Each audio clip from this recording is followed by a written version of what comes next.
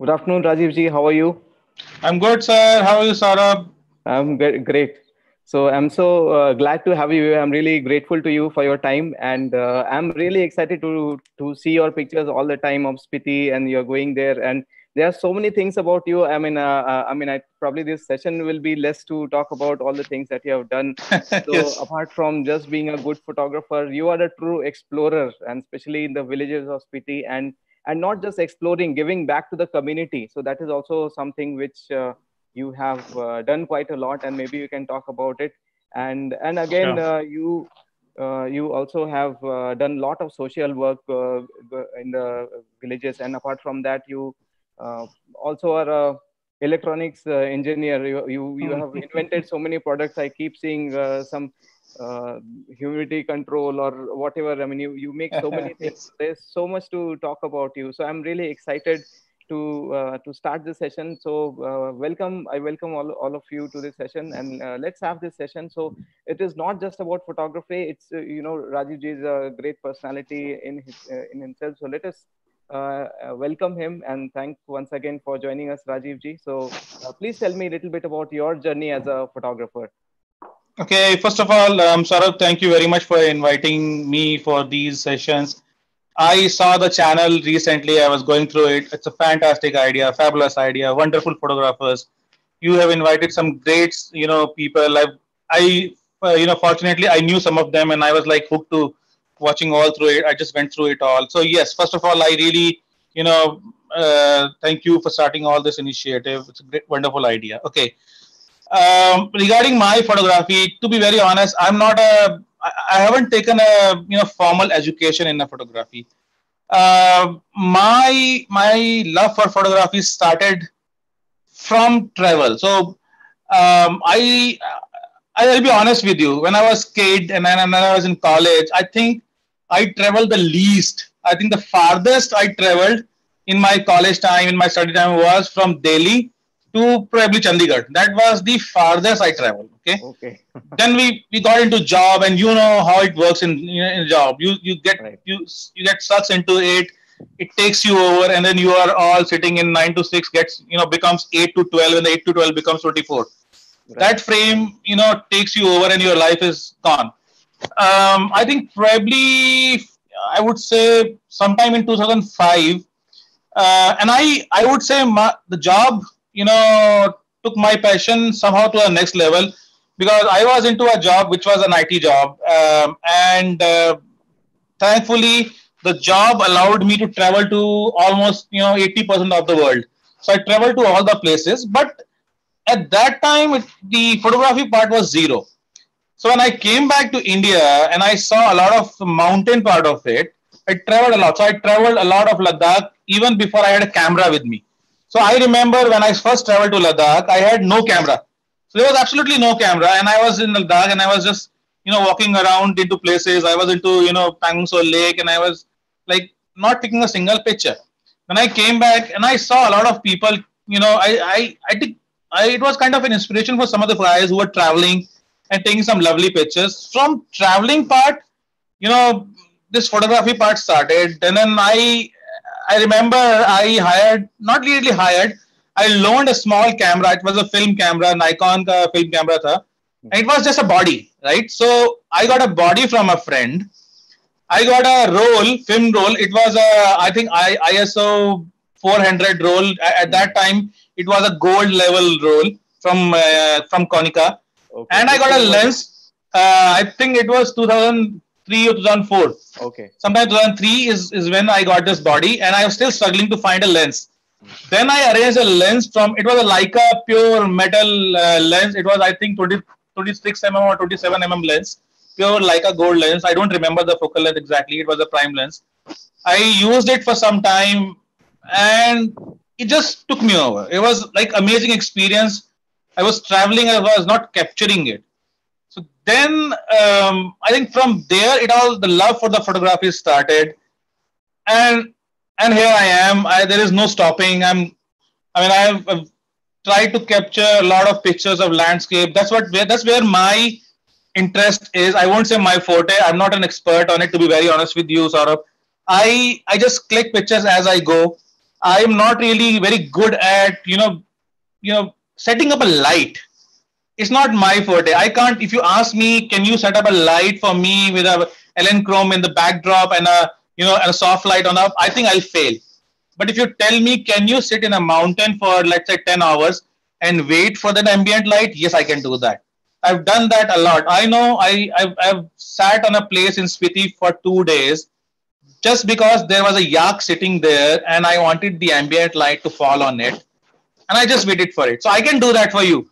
But yeah, I think that's where I my love is. I just pick up the camera, I just pick up my car, I just drive to mountain. I haven't really learned photography as a like education.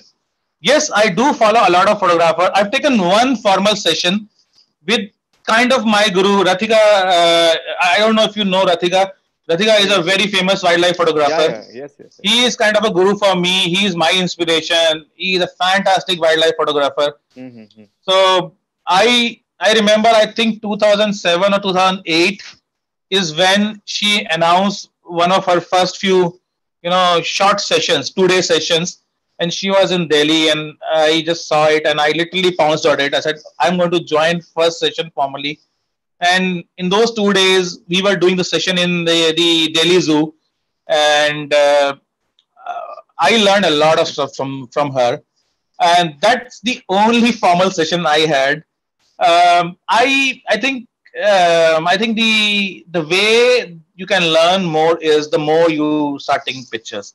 Absolutely. That's what everybody told me. That's what my gurus told me. I have a lot of like Rudra Sen. I told you, Rudra is one guy who is a master of black and white. I think, as I was telling you, I can't even think of you know coming close to him on capturing the landscape, the shades, or the shades of you know gray to white to black.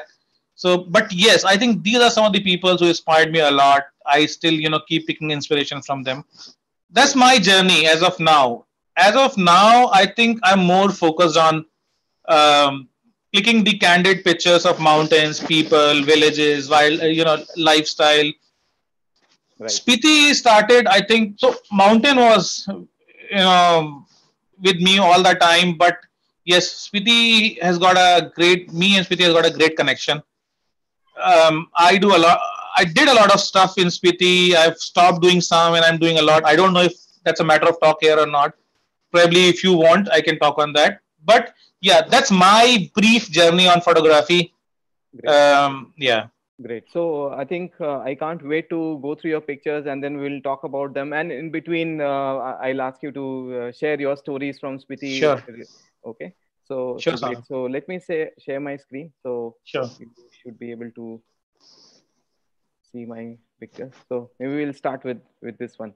And uh, and before uh, I start, I, I think uh, I remember uh, so the, the place where we stay, I think you also stay at the same place with Jamaica, and he was telling about yes. how the whole night you are spending in Chandratal uh, getting some shots. So how crazy exactly. uh, photographers can be in the freezing cold. Yeah. So exactly. But this this is this is not really Chandratal, by the way. This okay, is yeah, yeah. Uh, this is uh, this picture is from a place called Dhankar, mm-hmm. Dhankar Monastery. Right. And this was sometime midnight, two o'clock three o'clock, two o'clock, uh, no moon time. So at that time, I used to have a gypsy and I used to have a bed in it. So I used to just drive down a place which is like quite suitable. And then, as I told you, I think the light on me is not very good because I'm not good at creating the light artificially. But otherwise, I think uh, this fantastic location, beautiful place, the mountains amazing, the skies like in any other mountain, is absolutely clear. Um, uh, I would say a standard Milky Way shot, but the pace and the ambient and the environment made it so beautiful. Right, right. So beautiful picture.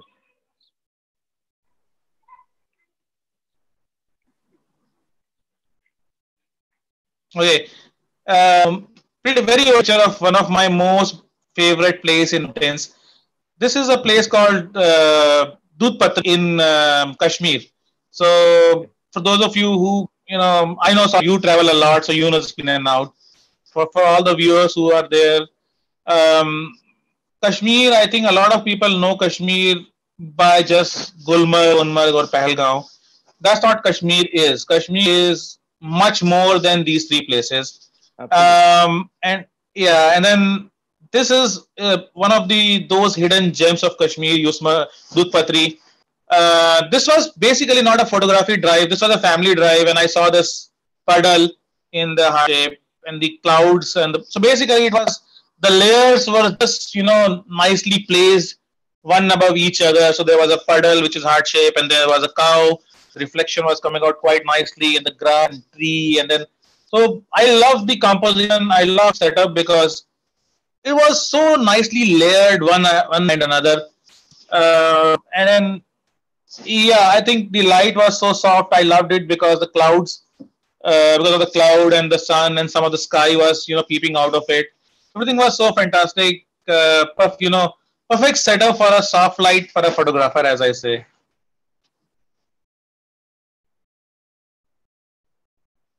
So, what kind of gear do you use, Rajiv I, as of now, I'm using Nikon um, D800 okay. and D810. Um, these are my most favorite uh, bodies, and I have three three lenses which I keep using. Uh, my most favorite is neatly the I I am a, I'm a fan of wide angle or ultra wide angle. Okay. So I use a lot of Nikon 14 to you know uh, 24 f 2.8. Okay. That's my that's my most favorite lens. Um, a lot of people, you know, criticize me that I always click. I end up eight percent of my share from that lens. I should, you know, start using a prime lens 50 mm 7200. But I feel wide angle is a very changing lens. You, if you don't fill the negative areas properly, your picture or your image will have a lot of, you know, negative areas where you have nothing of interest. So I challenging lens, uh, but then my biggest interest in wide angle is I can show a wider picture of because in a landscape it's important, you know, show the audience uh, along with your key subject where exactly that key subject it is, what all is you know surrounding that subject. That's important in landscape as per as per I my understanding. So use 1424 quite a lot. 2470 is another lens. I don't you use much now. I was doing a, uh, some of you know portraits and wedding photography some time back. I have stopped doing that. I think I realized not my cup of tea. I tried all genre of photography and I realized okay, I think okay. I'll be here and content if I'm doing the landscape photography Great. or night photography. So that's one. The other lens which I use quite a lot is 7200 f.8. It's a gem of a lens. And I have a guy from I guess Samyang. Uh, it's a 14 mm diagonal fisheye. Mm-hmm. That's another. So these are the three key lenses which I use quite a lot. Out of which I use 14 to 24 uh, most of the time. Okay. Yeah, I can see in your pictures. Uh, yeah, you can see that. Yeah, okay. So this from the Shanti Stupa. Okay, that's another one of my most favorite places. Yeah. Absolutely, you know it better. It's a Shanti Stupa, evening time, sun. Right. You know, it's so beautiful and I guess it was, it rained a bit. Generally, you don't see too much of rain in Ladakh because of the, uh, you know, it's it's higher than the rain zone. But generally, it rains a bit, little bit. Eh? The sky is so beautiful, eh, you know, orange tint is what you get. And this whole, and then you can see the, you know, the the, the mountain peaks so beautifully. Stok Kangri is nicely visible, and then the lights of city. It's a beautiful city um, you can actually i've clicked so many pictures from the same spot in winter summer you know in morning in evening time. Every time when you stand here you just you just feel as if you are clicking a new picture at all. So this, yeah it's a beautiful uh, the place uh, anyway is beautiful. Um, this right. was i think on tripod because i was doing a long exposure. So the light uh, was quite less but then long exposure you know helped right, a lot. right so apart from this touristy location, I think you have ventured quite a lot into the, the areas which were a, uh, a little forbidden for other people or people have not been to places like Demchok where, uh, you know, not many souls around. So yeah. reading, about your story where uh, you, you wanted to go there, but you were not getting permissions. And then you, you sat there for some time and then you talked to an officer and uh, you told him about your history and then finally he allowed you absolutely yeah so please tell us a little bit about that was uh, an amazing so i yeah it was amazing experience yeah you want me to talk about that yes yes please tell us about the story okay so of course like is uh, ladakh or zanskar or nearby regions kashmir is definitely one of my most favorite places for photography. Generally, I prefer to go away, far away from the you know touristy area. While when this picture was clicked, it was not really touristy. Nowadays, it's touristy. I yeah, of course, um, I won't I, I won't regret calling it touristy. It, it deserves its own attention. But yes, Ladakh has go got you know a lot of places are still hidden. Um, and uh, since last couple of years, I've you know, preferred to, you know, visit Ladakh in winter because that's when it's most challenging to, you know, do some photography, videography. You have two fights to, you know, take care of together. One, it's cold. Generally, it gets minus 25 degree easily. Nights might go down, uh, you know, lower. And then you have an altitude to fight against. and uh, I remember a few years back, I was trying to, you know, for those of you who has uh, you know a little bit of Ladakh, uh, it's kind of a circle. And I prefer to go to places which is close to uh, border area because those areas are very beautiful, untouched. And the region of Chushul, Mirag, uh, Loma, Hanle, this whole belt which runs right across the Indus River, and then uh, the the most talked about fingers these days though all those areas are very beautiful. Uh, and then I remember a few years back, as you read in my story, I was trying to go to uh, a place called Gala, and we got stuck in a snowstorm. It was a very snowstorm, so we came back, and uh, we got stuck in a place called Loma, and I was trying to contemplate exactly should I do because I have two days in my hand. And winter is a time when you want to lose a time. You want to capture a lot of the content, the content. So we thought probably I would try to go to Demchok. Demchok is a border. Uh, I think even when I tried, it the most difficult place to reach. Now, in current condition, it was I I feel it will be impossible to there. So we somehow and a long story done that Saurabh. So I'll, I'll not create the whole story. But yes, Demchok is a place where I managed to reach there. Of course, I can't click too many pictures. It's a sensitive area. Uh, I've clicked few, but I I haven't really posted it in a in a public forum.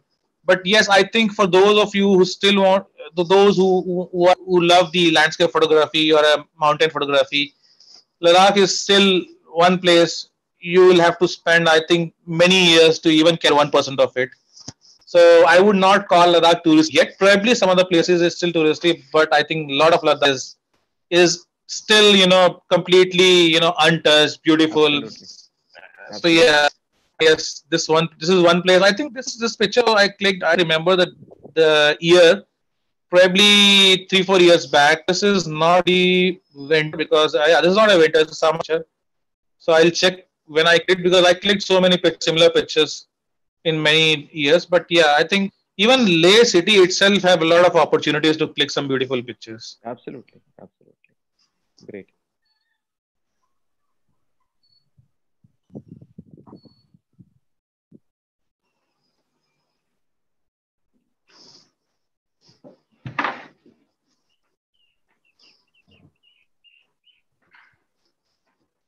Ah, fantastic! Ah. This is this picture clicked out of nowhere actually. So uh, this is uh, um, this is a place uh, just before Diskit, Nubra Valley, as it is known uh, more, you know, with the people. And uh, I have a I have a friend who runs a small guest house um, just before Diskit, and I was trying to visit him this was i think 2018 and i was driving with a couple of friends and generally i prefer to drive my own vehicle my vehicle is like a small studio and a car van and everything in it. So i don't mind even sleeping inside the car because i've built it like that. And i was going there and i saw a puddle uh, from you know main road uh, from the main road which connects the um, the you know village uh, to Diskit main village, and I saw this puddle. I realized I think would be a good you know opportunity to click the reflections and then everything. So this is what it is. It's all about uh, just find the opportunity, get a good light, the ambience, and then you just do the justice to everything by your you know photography. So right. that's what all all I did. I just saw the opportunity. I saw the landscape, saw the puddle. Everything was there. It's just that I I thought I will do a little attempt further to you know capture it into. And this is what I live a lot. Like uh, to capture the reflections quite a lot, and then just put some small you know out of the space subject. That was my subject. I wished I had some people you know jumping on or something else or an animal, a horse in it. But then I prefer to bring in a third party into it to just you know add a you know kind of a different flavor to a standard reflection shot. So Definitely. I thought I'll add a car into it. Absolutely, it makes it look so much more uh, interesting. Right? Yeah, it. Yeah. The other thing it adds it it gives the of the size. Okay, Absolutely. there is no so just in case if there is no vehicle in the picture, you won't realize how big the mountains are. So for me, it's more like giving a scale. If I add um, non-living uh, artificial object into it, all of a sudden the mountains, the clouds, and all that start looking gigantic inside. If you can see, now you can feel the mountains are so big and we are just so small in front of it. Absolutely. Absolutely.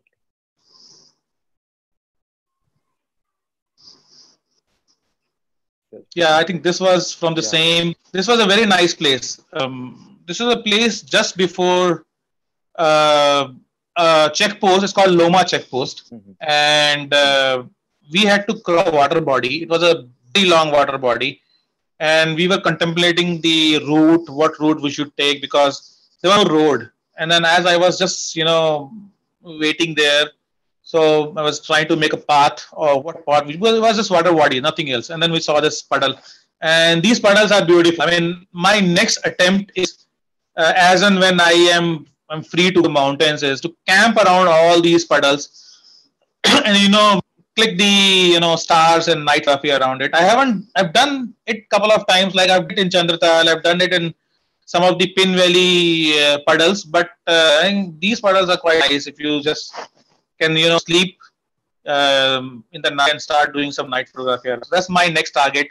To, you know, start stop you know staying in the hotels and guest houses in the night and start sleeping around these puddles and do some night photography or maybe sunrise photography. Great, great. I would love to join you for those trips. Anytime, sir. Anytime. wow. Where is this? Oh, that's my home actually. this is actually uh, for for the audience. This is a this is uh, Spiti. This is my my soul. Half of my soul stays with my family, and half of my soul stays in Spiti. Uh, this was 2019 winter, and by the way, sort of you know, I spent a lot of winter time in Spiti. Um, and I did a lot of you know tourism work in Spiti as well. I come, yeah. Sorry, you were so, saying something yeah so when you say your uh, guys when you when you see how passionately he's saying his half his soul is in spiti so you can imagine how much he has love for that place yeah please continue rajivji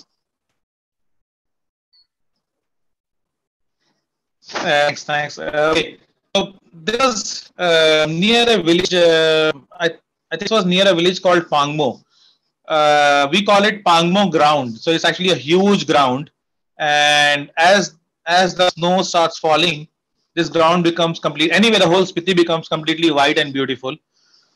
but this ground itself becomes completely white. So, yeah, this it's very difficult to reach at times when there is a lot of snow.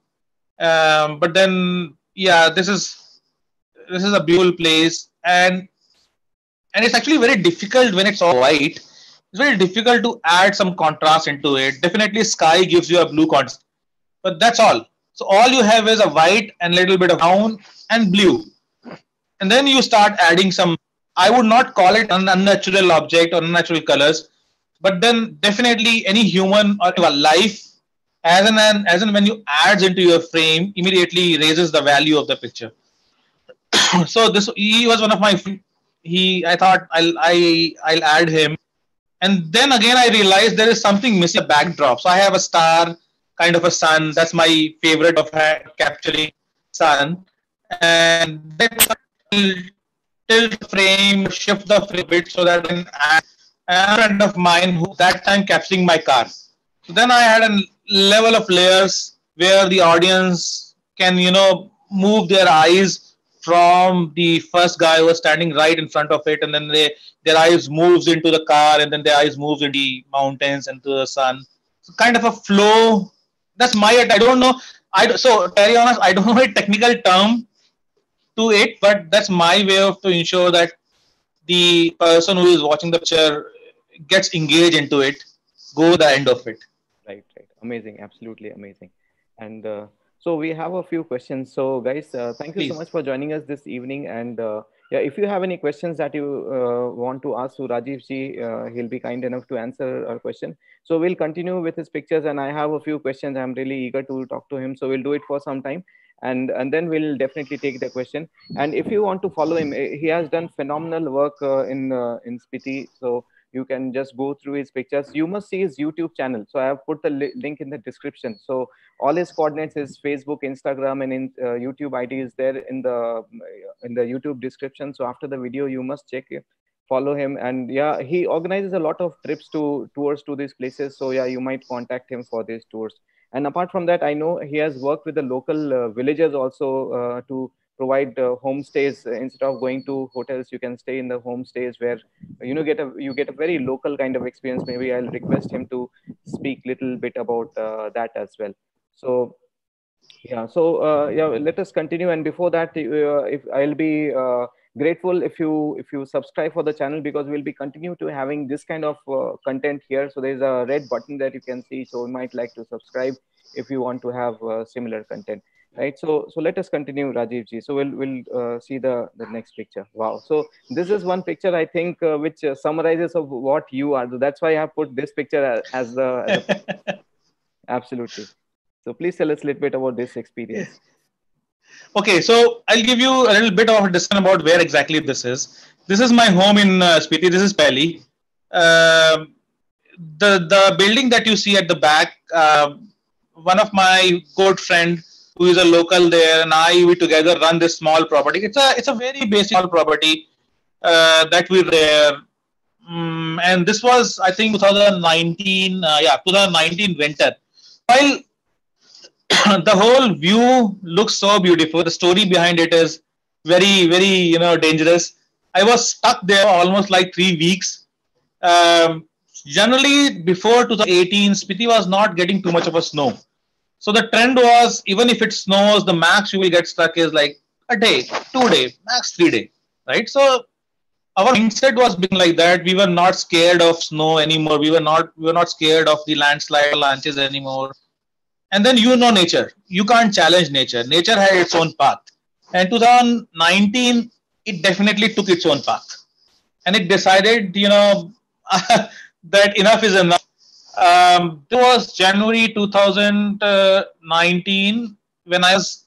So we had some guests, and then the guest left safely. Everything was fine, and I was staying because I was trying to capture some snow leopards that spotted at that time in Pin Valley. As of now, mostly the snow leopards are captured in Kerala, but then locals reported some, you know, they spotted a leopard. So I just waited there for a day, and in the night we were just enjoying some nice momos and you know uh, um, some local food. Started snowing. Snow is fine. We thought we have seen everything. We just you know we are master of nature, and then nature tells boss, you are not the master. We are the master. And it snowed. It snowed so much. I just by morning we had almost eight snow, and it continued for two days and then it continued for almost six days. Snowed. I haven't seen that much snow in my. I think even locals were saying that they never saw this much, and I was stuck. So if you can see, the bumper was you know completely under. So this was something after I cleared the whole snow and everything, and I was stuck there for almost three weeks. But I'm honest with you, Saurabh, those three weeks were my most beautiful times in the mountains because I got the opportunity to join the, the villagers in their happiness, in their sadness. So we saw beautiful festivals, we saw beautiful, you know, marriages happening during that time. We saw, unfortunately, saw a couple of deaths because of different reasons. But I think why I you feel privileged was I got involved. There was nothing to do. A camera walking in the village, get into anybody's house. They would be gladly accept you inside their home, offering you food.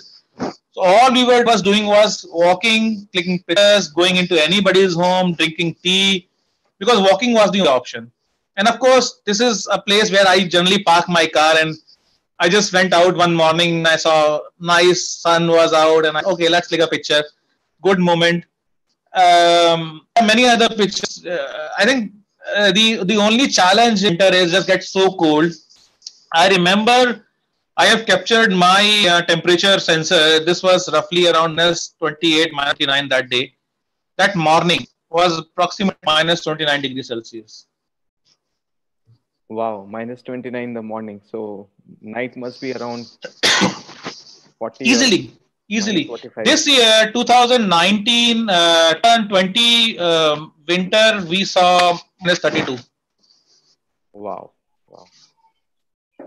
Okay, so please tell us a little bit about the, the other activities that you have been doing in the Spiti Valley. So helping the locals. So uh, I know you have a friend who is a doctor, so you go there and then do a lot of stuff there. By the way, uh, to be very honest with you, that doctor is I now watches this uh, Chal- Nariman is a wonderful guy. He is a test. He is from Bombay. He is so I very much. I'm not doing anything specific or anything anything social work with the. All I am is I have great you know, um, my circle who are like uh, some blessings for the humanity. They and they love. They have a similar passion like me. They love mountains. Love photography, and uh, the dogs by profession. Uh, and I thought this idea why don't we some work in the medical field because while the government and administration is doing of work on medical, but considering how remote or how extreme the place is, if we can do you know some work on uh, on the vehicle side probably uh, we can we can help. So all i'm doing is i'm connecting my friends who are into medical field and they're doing a lot of medical camps um, with the soviet camp on you know i i we did camps on dental did camps on um, uh, scams on the you know child uh, needs. Then there was a friend did it for gynecology, the email uh, stuff. There are a lot of things that's needed uh, as of now, and just can't you know blame administration, government. They are not doing. They are doing their stuff. I think we have a lot of people who can help. And I, by your channel or through your view, if there, if there is anything, any medical, you know, practitioner who love mountains, they are more welcome. I have a small property, very basic property. Be my guest. Come here, help people, and I I can assure you and I can guarantee you, you will have the maximum level of satisfaction when you will see lovely, happy faces, getting the treatment done, and going out here. That's the this is so. I'm not really doing too much of a charity work out here. I, I, there is no, you know, charity organization. Nothing. Absolutely nothing. All I'm doing is I'm meeting some friends with the locals, and that's my part, and out of it. And and that's very appreciable because uh, most people they go, they travel there, and then they come back. So, and because you are so attached to Spiti, you are you are able to do so many things. Yeah, being a at least being a speci- uh, facilitator uh, itself is a is a great great thing. Yeah, I think I think that's all needed. Not just me. I think any who loves mountain can do this. Uh, you are doing great. I think uh, I, as I talked to you earlier before the session, I think we need to talk after your your video sessions. Probably can do some similar work later. Definitely, on. definitely. Ooh, one of my most favorite place, my most favorite time. Okay, so this is uh, Pangong So 2015, I think, if I remember correctly. Um, yeah, I think now I, almost everybody in India knows about Pangong So, thanks to all the you know interesting stuff happening in that region. And this is quite close to what you guys are hearing in news about finger, finger four, finger five, finger six. Forget about all the fingers. This is the fist. The Pangong So is the the fist and my most favorite place enter i love to you know click the pictures around this you know a couple of reasons one the the ambience is absolutely fantastic two there's nobody the whole lake is yours. You decide what do you want to do. Three you add couple of wildlife into it and this is absolutely amazing. And the last reason is the the place itself. I mean, it is a saltwater lake, and it freezes. That that's a big, and you are standing at an altitude of 4,000 meters at the temperature of minus roughly 20, 25, trying to click a picture. You kind of feel like you have an achievement. Whatever you click at the end of the day is one thing, but just completing that whole assignment itself is an achievement. So yeah, I uh, clicked a lot of pictures um, of this place in winter, summer, and um, I think I'll be doing hopefully next year, 2021. I plan to spend almost two to three weeks uh, of winter. So my next winter plan is roughly a month in the winter and roughly a month in Ladakh winter. Let's see how does it work out. No, that must be amazing. great, great. Yeah, hopefully. So how challenging it is to drive? So you take your own vehicle to these places, or do you take a, a local driver with you? Uh, for Ladakh winter, yeah, you have to you know rely on the taxis because you can't drive. Most of the passes gets closed. Um, but I think my the, the blessing is for me the taxi drivers in Ladakh are not taxi drivers. They are partners. I mean, if they are not there, you won't achieve anything. So I, I you know, have a friend, uh, Soma Angdui. He is from a place, a beautiful village called Nurla. Nurla is a is a beautiful village on the way from to Kashmir. I think I am attached to this guy for almost 12 years now.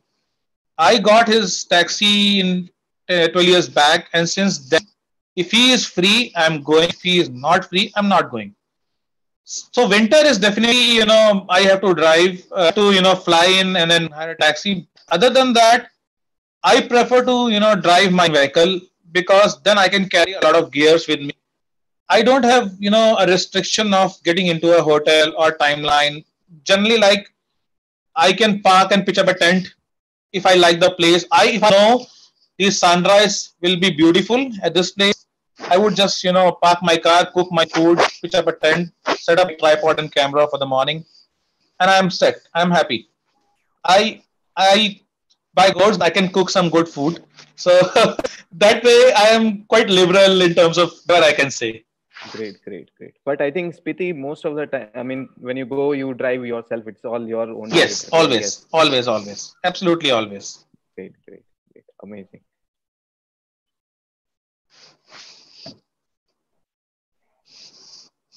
Wow.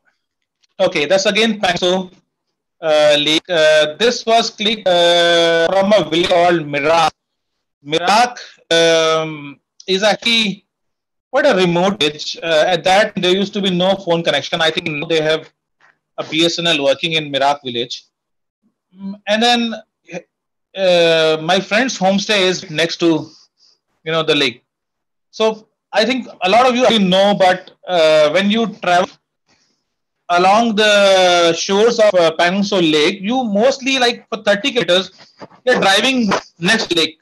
You keep driving next to the lake. True. Okay. Of course, for for winter scenario changes because then you have to cross a lot frozen uh, your water body because water comes on the road and then it's frozen, it freezes completely and then you you know start driving uh, over the lake. But uh, yeah, as I was telling you, you add a little bit of light to it and this is something i saw So I have plenty of other pictures of these, you know, horses. These are low horses, uh, wild horses. And this is one picture. I have a picture of the same frame with almost eight horses going in the, you know, in a, in a queue. Uh, that remains in, in of me all the time in my table. Awesome. Awesome. Great. Do we have a question, uh, Saurabh? Yeah. You want to take it now or we should for the end? Okay, we'll we'll take the questions after some time. So I, I don't want to break your flow sure. the way the way we are going. So we'll definitely take absolutely all, all yours. Yeah. So yeah. So all please yours. tell us a little bit about uh, this picture. Okay, this was another fantastic, you know, uh, place. Uttarakhand is the place basically. It's Uttarakhand. Uh, I recently posted a story on uh, on uh, this particular incident. Uh, in uh, it was a family drive, 2017, 16 or 17. I don't remember the year exactly. It was a family drive. Generally do a lot of family drives during winter, and the agenda is very clear. We find a time when it's it's a snowstorm time, and we want the snow we want the heaviest possible snow because uh, that's the most beautiful time when it snows like anything.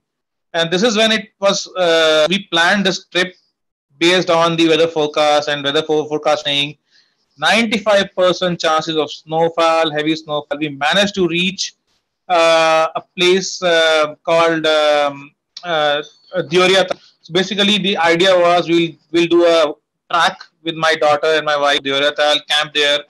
Click the picture of uh, you know mountains there in the sun and sunrise time. And then we wanted to drive up to a place called Chopta uh, and then track to Tungnath. Yeah, yeah, yeah. So in Deoria Tal, you get a very nice reflection in the in the lake. Yeah. Absolutely fine. Absolutely fine. Chaukhamba, Khumba peaks. I think they, they, the, if I'm if I'm correct, if I'm not wrong, uh, Chaukhamba peaks are absolutely beautiful. Right, right, right. Okay, so you can see that, and winter is the time when you should visit Uttarakhand. If you love to capture the mountain peaks, snow-capped mountain peaks, if you love to capture the you know sunrise over the snow-capped mountain peaks, winter is the most beautiful time. I know the photography is very tough, the changing. I but I think you get into it as with time. So I'm not really you know resistant to cold I I feel a lot of cold. I am not very good at cold, but I think somehow spending so much years in the cold, it's somehow it's all about the psyche of just get out of it and start doing photography. So this is what we got stuck in. Uh, we could not reach. Chopta. We got stuck okay. in a place called uh, Baniakund. Baniakund is roughly three kilometers or probably five kilometers before Chopta, and then it started so much that we could not drive any further. And I was driving a two-wheel drive vehicle at that time. I didn't had any G. I have a four-wheel drive and snow chains and everything. But at that time, I had no uh, four-wheel drive vehicle. So yeah, then we stayed, uh, you know, there for a, I think two nights, and then beautiful. Next morning, the sun came out beautifully, and it was fantastic. So it was a fun, a fun moment with the family, and I thought let's get some pictures as well. Great. So, uh, what kind of uh, preparation do you do? I mean, what kind of uh, gear, clothes do you wear in places like that? So, um, if I am if I'm alone, uh, all by my by my own, generally I I plan extremes. So if I am going with a family, I don't plan extreme areas. Generally, I stay nearby. I know I have accommodations and, and something like that. But if I am going let's assume I'm doing a photography project or in winter. Uh, my most important thing I you know prepare for is my clothing. Everything else comes after. Photographs, camera, everything else. If you are if you are comfortable, if you are not feeling cold, if you are if you are secure, safe, and warm, you can click the best pictures possible. So first defense is get make sure you are warm, make sure you are safe so I generally wear layers. I don't. I, I hate to wear big thick jackets because then you your movement gets restricted. You can't get the you know the angles I want for the the the, the frames or the compositions. I generally wear a layer. So I wear an inner layer of uh, merino wool and I wear a fleece on top of it, and I have a regular jacket on top of it. You don't need like costly down feather jackets. All you need is good three or four layers on top and couple of layers on bottom, and that's all. You can handle, you know, any temperature if you have layers on your body. And that's my philosophy. Uh, same is for your top, same is for your bottom, same for your, you know, feet. You wear two layer of socks. So I wear like a nylon socks inside and a thick wool socks outside. I generally keep uh, one number, one bigger size number of my shoes for winter. And again, a basic shoe, basic trekking shoe, you don't need 10,000, 15,000 rupees shoes. Basic, um, I won't say a brand name, but any big store will have a basic, uh, you know, shoe which covers your ankle uh, safely, and that's what my, you know, first, uh, you know, first level of packing. If I am not prepared for that, nothing else will work well. And rest is like, you know, keeping the food, enough food with me. Like summer is not an issue. In mountains, you find a lot of food and everything. But then for winters, if I'm driving my own vehicle, I carry a lot of sleeping bag because there are chances of getting stuck. You might end up sleeping in your car. So I keep, you know, a couple of uh, big, thick sleeping bags with me, and I, you know, carry a quilt with me. That's the benefit of driving your own vehicle. Um, and I carry a stove, cooking some, and I, I have a hobby of cooking food. So yeah, fortunately, I carry a pressure cooker and couple of lentils and you know rice with me, and I prefer to cook fresh when I am taking the pictures. So yeah, these are some of the stuff that I carry. Nothing fancy, just a basic survival, enough to survive, make you survive for few. Great. So how about uh, uh, your camera and gear? So how do you make sure that uh, your camera is, uh, I mean, up and working all the time, even in the coldest of the temperatures? How do you manage that? Uh, um, I'll be honest with you. I haven't done anything drastic to save my camera. I would say Nikon's D8 head and D810 is quite a quite a rugged, you know, bodies and lenses are quite rugged winter. Uh, yes, if you shoot a lot in winter time, you will start losing the rubber parts of like I think in in all my bodies I'd have the you know rubber grip. I've lost that already and I've decided I'm not to get it repaired because next winter trip i'm lose the rubber grip because in winter rubber you know gets harder and it loses its glue you will eventually lose so i have i have uh, probably i'll share in some other place i have 3d printed a grip of my own so a 3d printing grip which is saves my hand gives me a better grip for my d80 and the only thing i do when i am you know moving from a colder place to a warmer place, I carry a Ziploc bag with me. The only time, which is the most dangerous time. So if you are moving from a colder place, let's say shooting outside in the in the evening time, and then you are getting inside the room or the kitchen, all of a sudden you will have the condensation on your lenses, on your you know body, probably a lot of time inside your you know uh, lenses as well. That happens, right? That's actually a dangerous thing for two things. One, it can actually cause the, you know the trigger of fungus inside your body because then the the water remains inside. All I do is when I'm there are two things I do. One is if I have Ziploc bag, just put body and everything in a big Ziploc bag, move it, you know, safely and let it be inside the Ziploc bag for some time. If have a Ziploc bag, I find a transition place which is like temperature in between the outside and inside and I keep the camera. For example, what I do is in my Spiti homestay, if I'm getting inside the kitchen, I don't take the camera in the kitchen. I leave the camera in the way.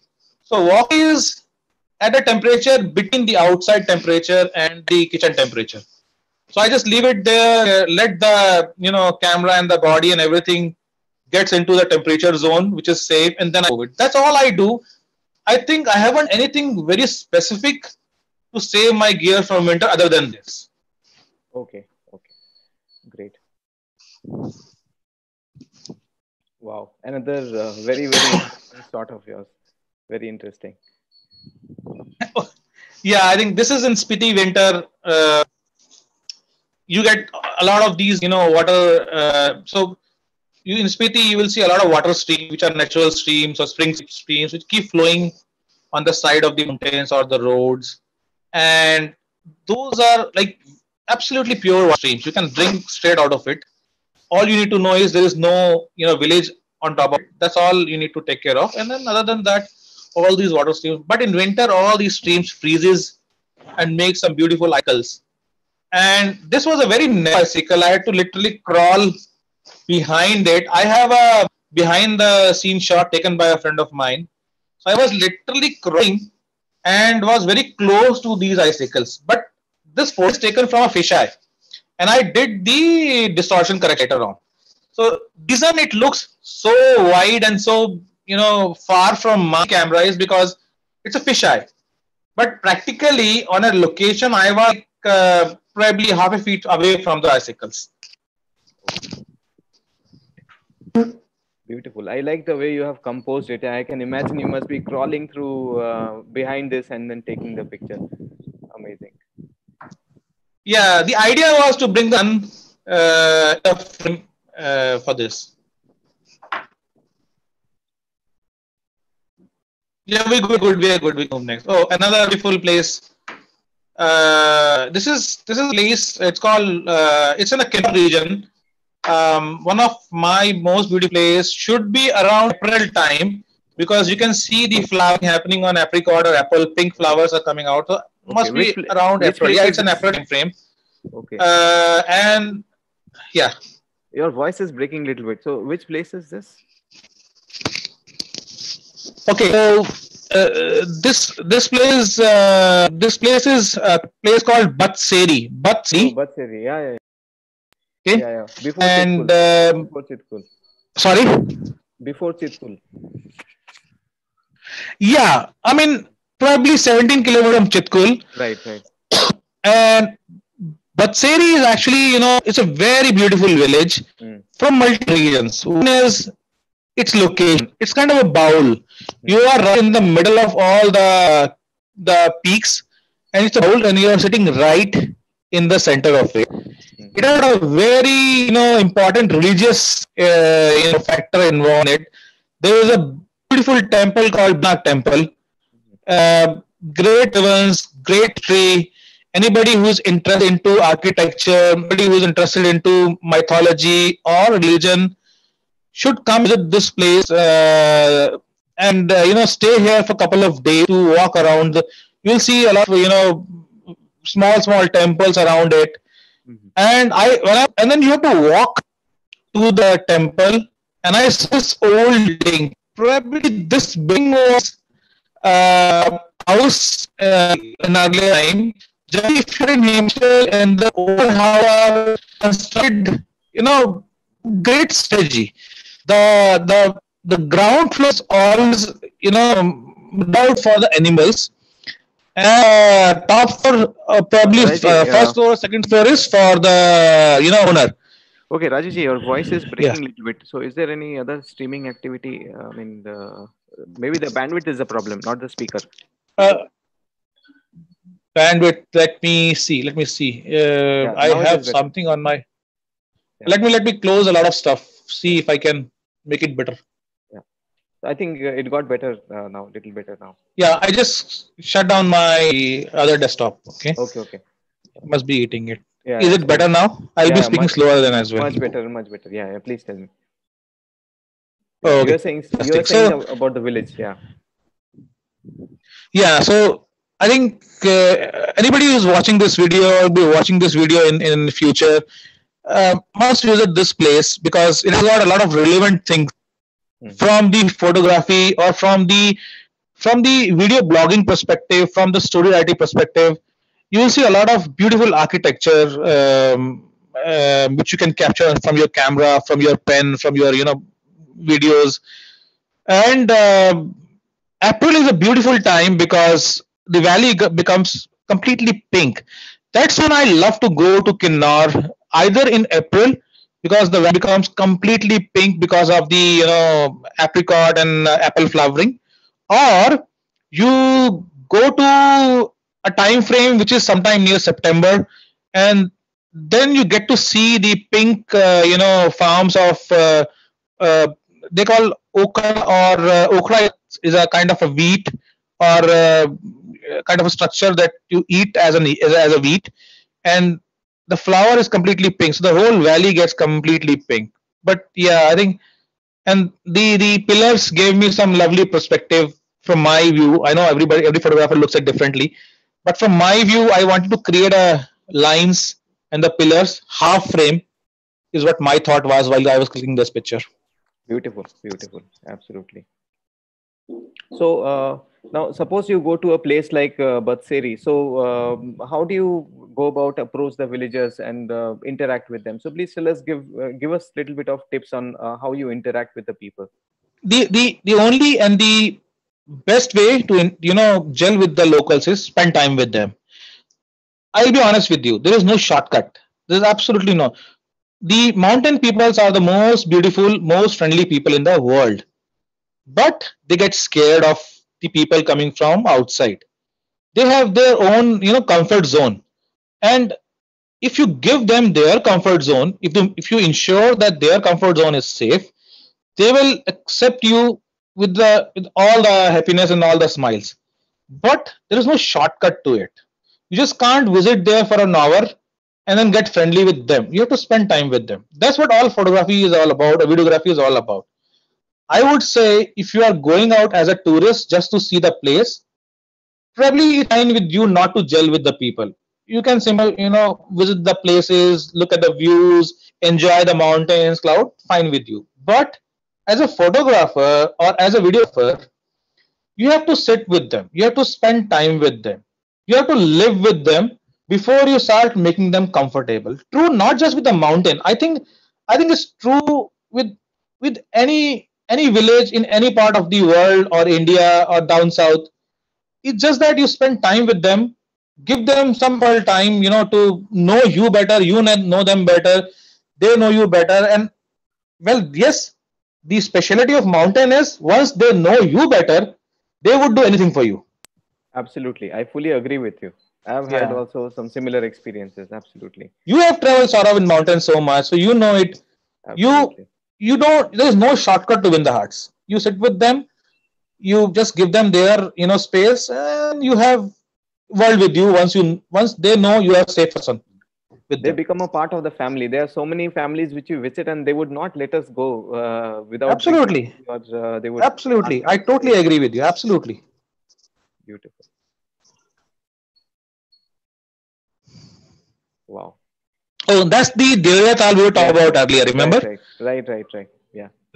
Yeah. So, well, of course, uh, I clicked it in a very short notice because I was with my daughter at that time. And my daughter was quite small. I think she was uh, eight years at that time and needed a lot of attention. She runs in the, the mountains like anything.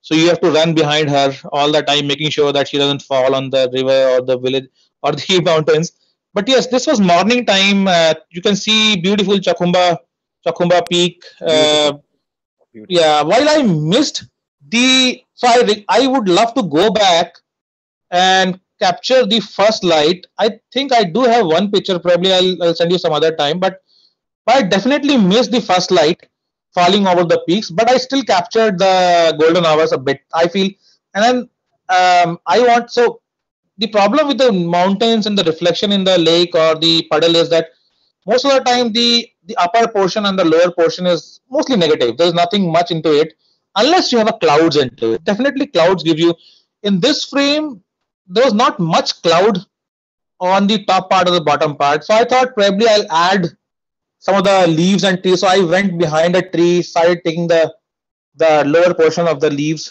just to add a little bit of flavor Brilliant. So that you don't have much negative space. Right, right. Beautiful. I remember going to this place in 2003. I was in college those days. amazing.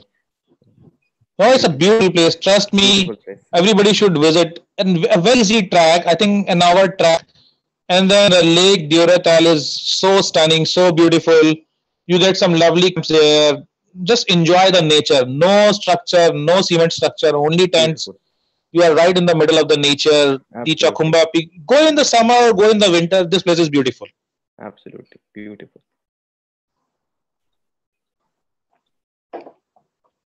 Oh, fantastic! This was this was one of my Ladakh winter uh, project. uh, I'll, I'll take a couple of time on this picture because more than the image, there is a interesting facts about this.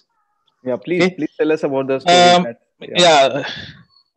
Yeah, okay. So this is a place called Chumathang. Chumathang um, is a small town. Of course, Chumathang is not just a town. Chumathang is a region. Okay. But then there is a small village. We also call it Chumathang village. Okay. And it is very famous for uh, hot water sulfur springs. You go in the winter or summer, you get to see the boiling hot water coming out of the, you know, Mother Earth. Right. Um, and despite all that heat, um, this river freezes. This is the um, I remember this is the Indus River. Okay, so this river, Indus River, freezes completely while the top portion is rock solid. You can walk over it. The bottom portion is completely hot, boiling. You can so I'll I'll be. It's a very funny thing. I I remember in all my Ladakh winter trips, if it is seven days, ten days, eleven days, uh, I feel embarrassed to say that, but I don't take a bath. Okay, it's very it's a challenge to take a bath in those you know yes, 10, 11 days. Yeah. But Chumathang is one place you will have a hot shower, unlimited water supply. Just switch the shower, the water comes straight out of the sulfur spring, and you will literally regret to come out of that hot shower because you do, you will freeze. But this is the only place. There is a very beautiful homestay run by a lady called Padma. Anybody who's interested should go there. Padma Guest House is the name of the place. Very homely place. Runs a small restaurant. Gives you lovely food. Try to eat the Ladakhi bread or the momos or you know try to get the local jam. You will love that instead of eating parathas and all that. I I tell people eat local food more than the you know regular plain stuff. And one of my friend was there and i wanted so i want to capture this image again while i can appreciate the the harshness of the you know place where you can see the ice has frozen and then broken it so the way it works is that when there is the flow of the water is low the top freezes completely and then all of a sudden the flow in the river increases it breaks the ice and the ice you know cracks like a you know top of the muffin. Wow. And it becomes small, small muffins. You must go to this place, Saurabh.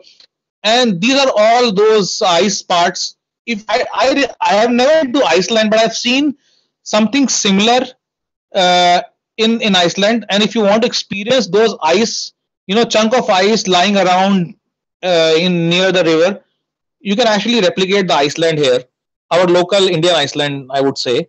And then I, I requested my friend to, you know, sit and give a little bit of red color. She was wearing a red jacket, and I liked the red color in all the. So and I, and then yeah, all this this all just you know fell in place. I would say. Amazing, amazing, very good. So more than the pictures, I mean, uh, the picture itself uh, so beautiful, and then hearing those stories from you, that is what I'm really enjoying. Yeah, yeah. In fact, you know, to be very honest with you, every time in mountain, every picture is a story. There is a story behind it. Until unless you are just clicking the shutter button and then deciding what which picture I will take. I I've done that myself. I'll I'll be honest. I'll be uh, I'll be absolutely honest. I've done that myself. Click thousands of pictures, go back home and decide which picture I want to keep, which picture I want to delete. But gradually, I think in last um, you know eight to ten years, I've learned to you know visualize the frame I want, sit there and then just click one single picture. As simple as that. I am not going to delete it. Right. And this has, hasn't happened like uh, I was born to do this. I did all my mistakes. I went through all the, you know, sort of you understand, all my photographer friend understand. You go through this cycle. So this place Absolutely. is again Pangong Tso. Hmm. Yeah, this place is Pangong Tso. Again, I wanted some human element. So this was not frozen. So generally Pangong Tso freezes by January, February, you see it, you know, frozen. But unfortunately, or fortunately, I'm not say unfortunate. I would say everything is like a frame. So only the edges were frozen, and it gave a lovely flavor to it. So you you have a place which is completely frozen. Mm. Then you have a blue Pangong Tso river, and then you have mountain. All I wanted was a friend of mine to sit there. I I wished he had no camera in the hand. I forgot. but nonetheless, the human element is always beautiful when you mix it with the mother nature. Absolutely, absolutely, great.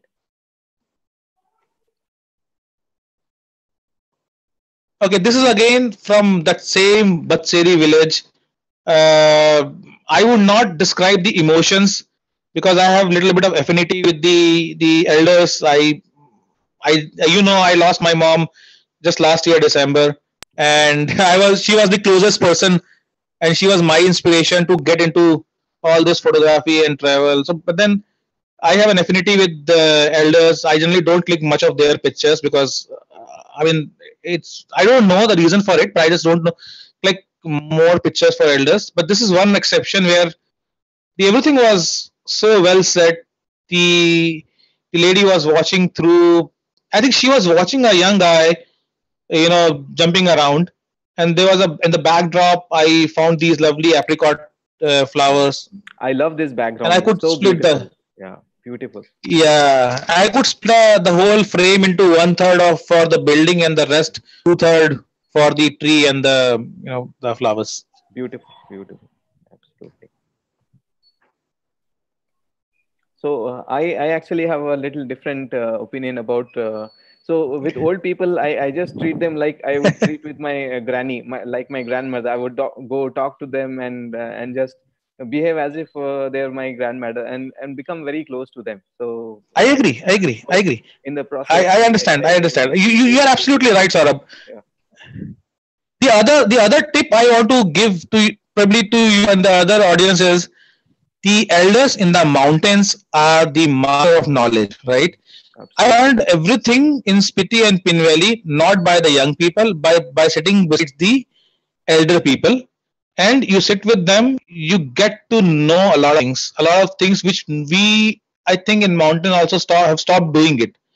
So i remember a story and i was sitting in spiti and uh, in winters we generally most of the time we are eating eating and eating watching tv eating watching tv eating nothing else to do and that day we wanted to cook uh, dim sum or momos and mostly we cook them in a regular you know momos ka jo banane wala pot hota hai we cook them in those pots and then there's an elder guy, he's a Lama there as well. He came in the home and said, What are you cooking? He said, We are cooking momos today.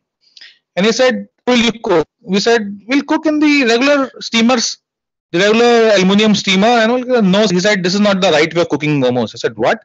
This is what we do. Said, no, we generally used to, and like 70 years back, he said, we used to boil momos. I said, Fine, interesting. How do you boil?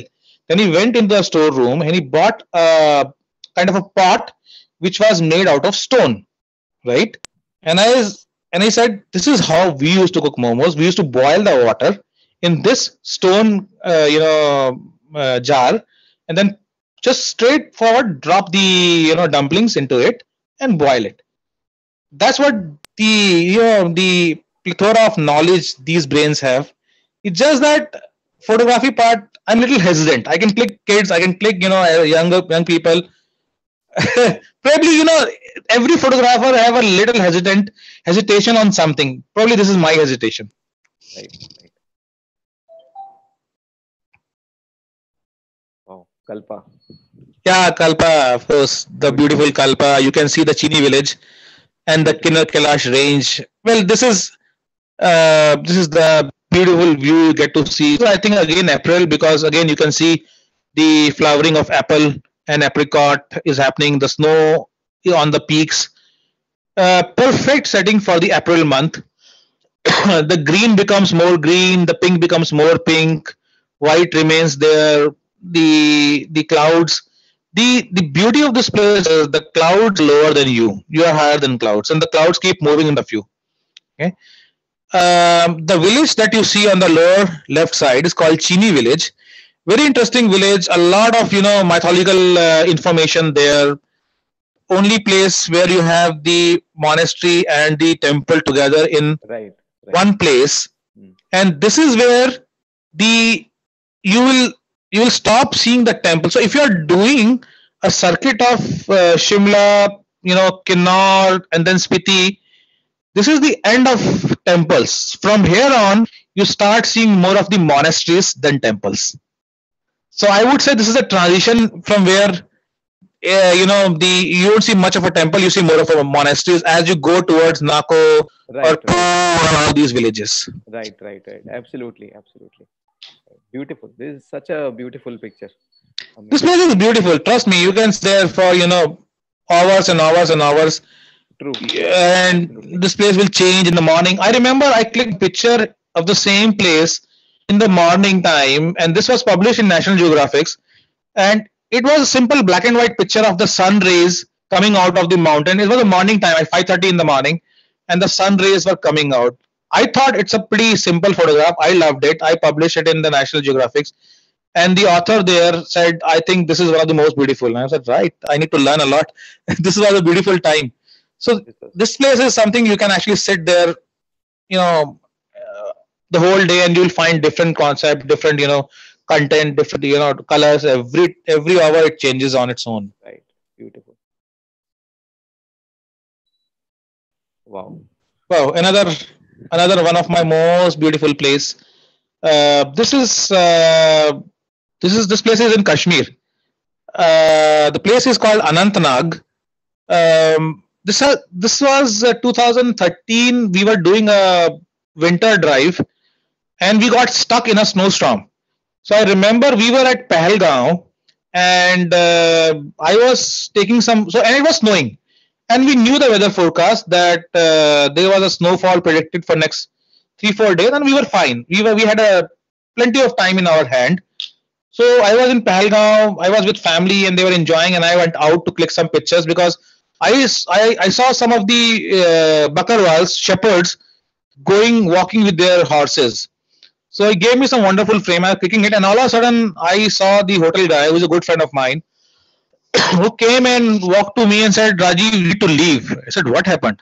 So, no, you need to leave because I just got heard that the snowfall is getting severe and there's a snowstorm coming up. I said, Okay, fine, we'll leave, no problem. From Pahalgam to Anantnag, it takes roughly hours, max three hours of drive.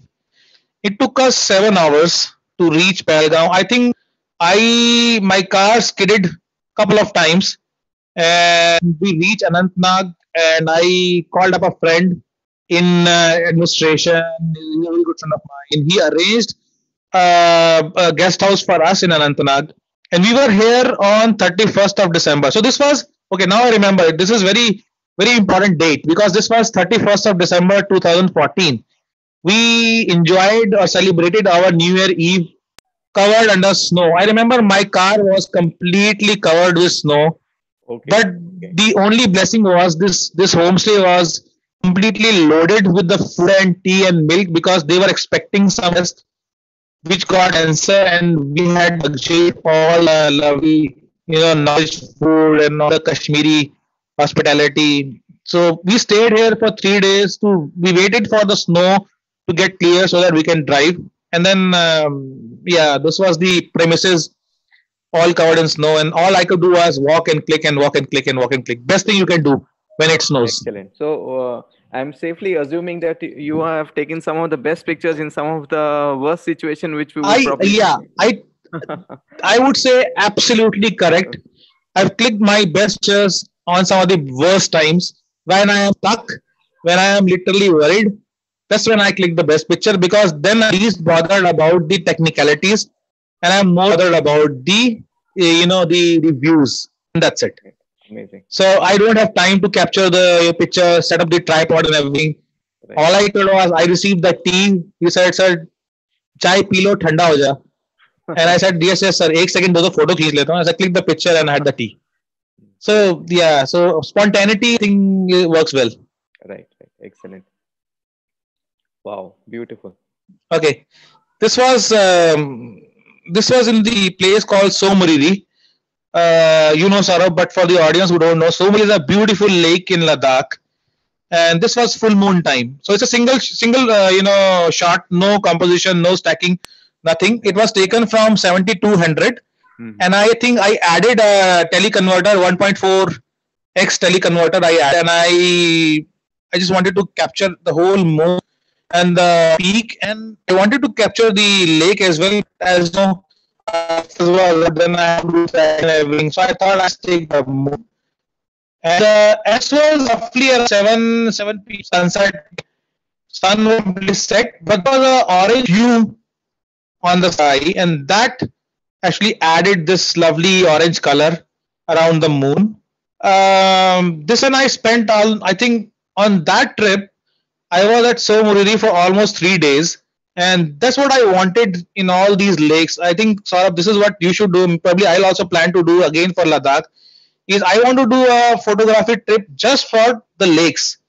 You know, camp next to the lake. Right. And there are hundreds of lakes in Ladakh and Kashmir. Right. And I want to spend maybe one or two days next to some of the you know I can't I don't think I can do all the lakes, but some of the lakes sit there for a day or capture all the you know hues, the shades and the colors and the you know moods of the lake and, and the ambience around it. Absolutely. Let's do it sometime together. I would love to. Anytime, sir. Let's let the thing settle. I'm I'm I'm, I'm already restless. Uh, I've done all the preparation and everything. It's just that I make sure everything gets right and then everybody is safe before before out right, in the mountains. Right, right, right.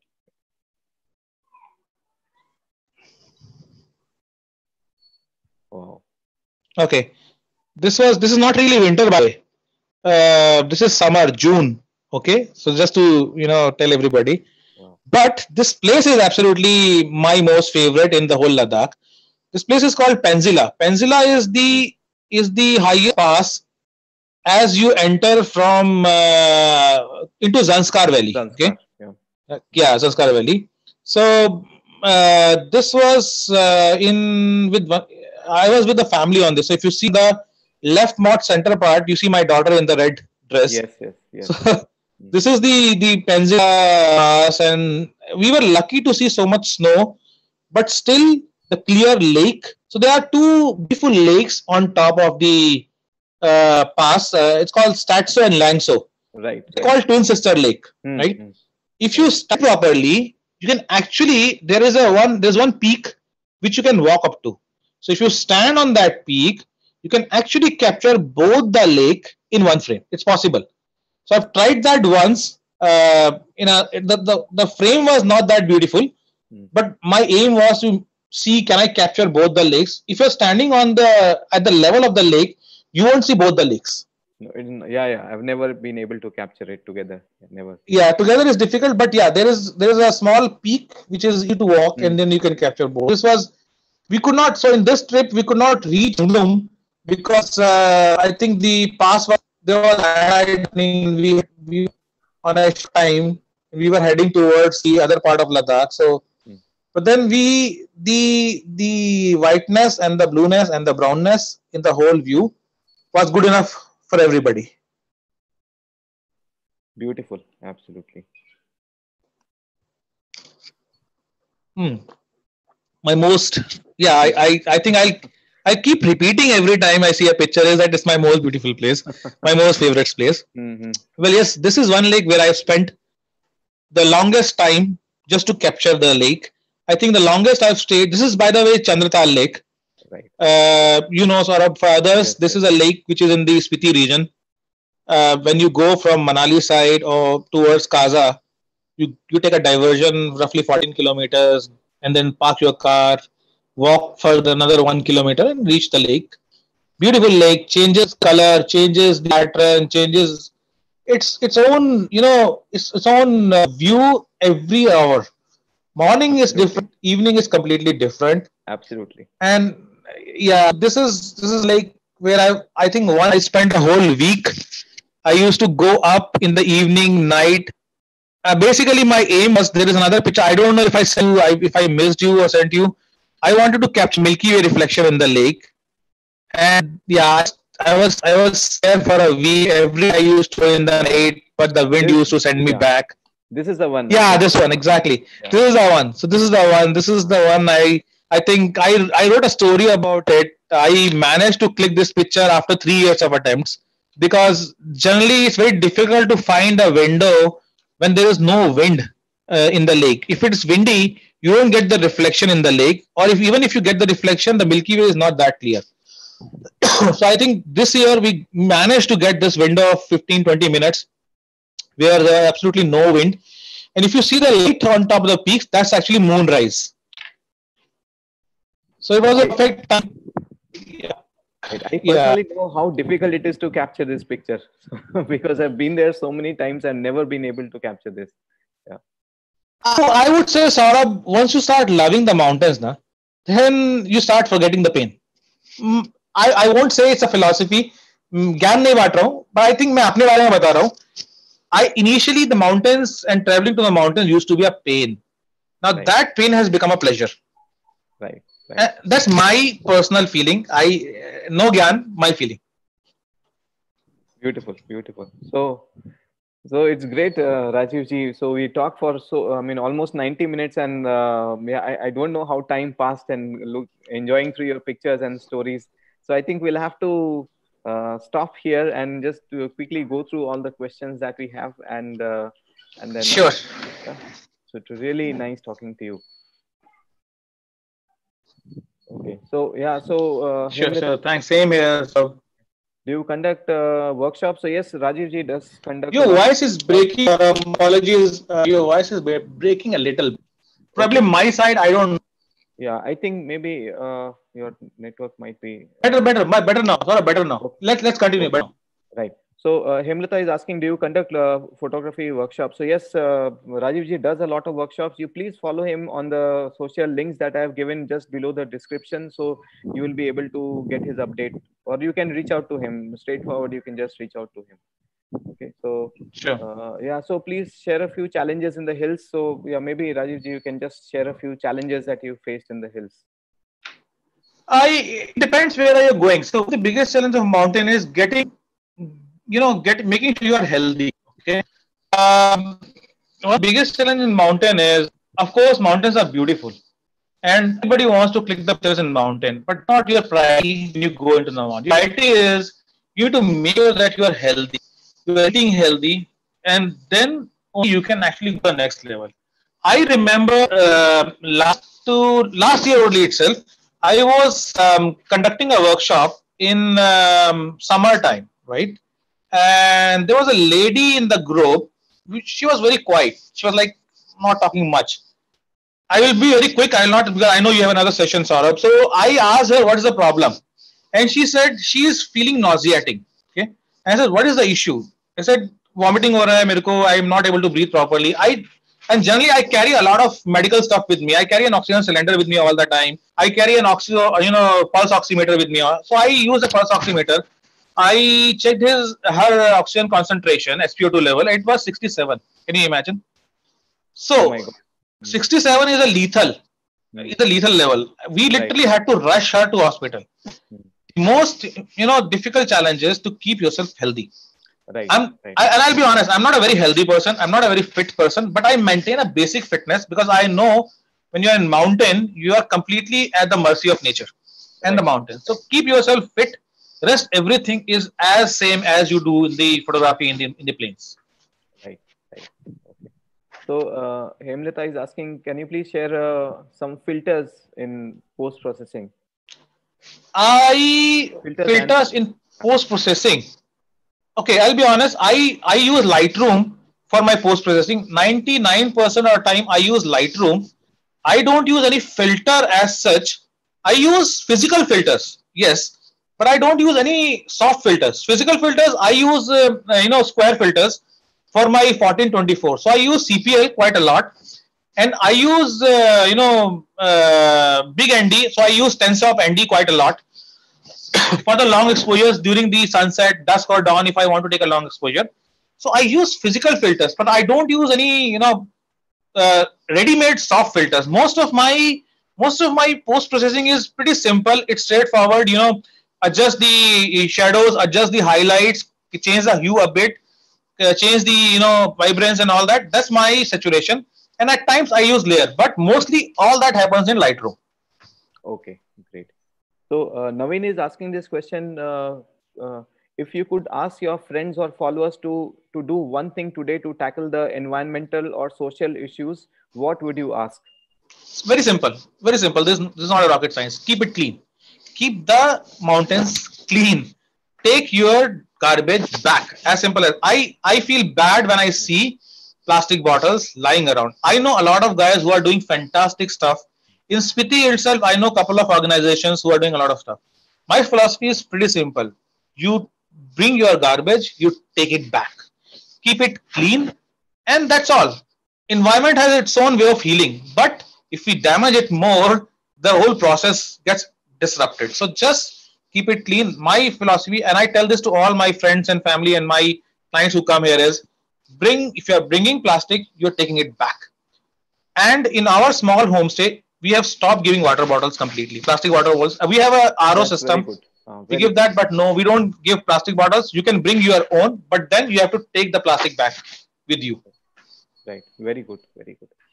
Okay. So uh, Moni is asking, uh, could you repeat the name of the lady photographer and the master of black and white that inspired you?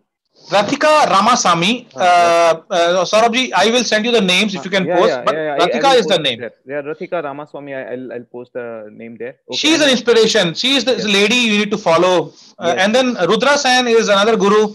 I will send you his uh, his Facebook link. Yeah, please. Yeah, he's definitely master. I will add it to the link description. Yeah. Sure, sure, deal. I will do. Description. Okay. Yeah, great.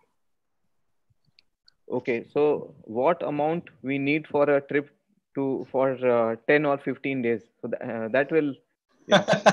okay very subjective question very subjective uh, very question subjective, actually depends yeah. on depends on what do you need i know people who have done spiti whole trip 15 days in 5000 rupees right yeah depends on what's your comfort zone Absolutely. and what Absolutely. all you want to give up if you are ready to give up the luxury then you can actually you know end up doing this trip quite nicely. I won't say cheap.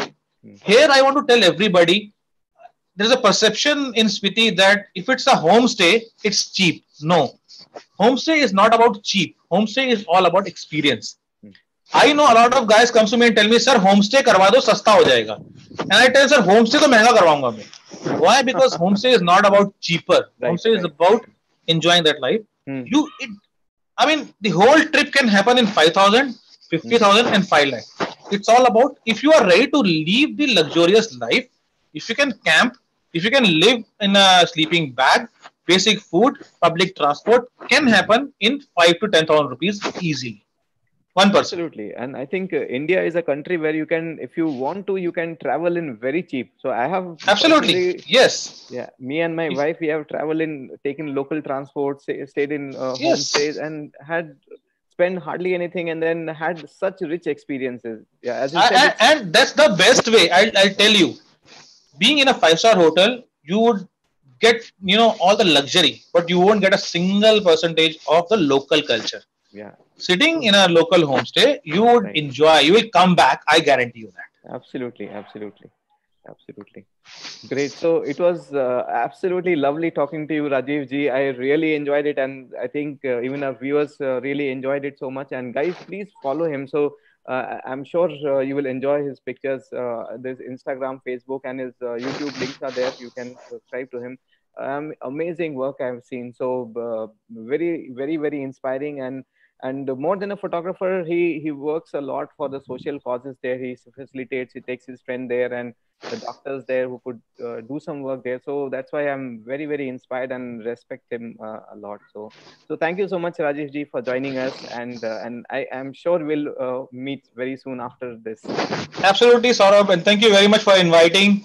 Uh, it was a pleasure to be part of this whole you know journey. I'm i'm sure you're doing a fantastic job. I saw all the videos as i said earlier I think you should continue this. I'm going to refer some of my gurus and my friends who are wonderful photographers. I think you must, you know, follow them. I will personally, you know, refer you there. And I, if you can, can lure them into these sessions, I think a lot of people will get benefit out of it. Yeah, absolutely. So it was absolutely. I'm signing off from the session. Thank you, everybody. Thank you, Saurabh. Thank you. Yeah. Bye. Yeah. Bye.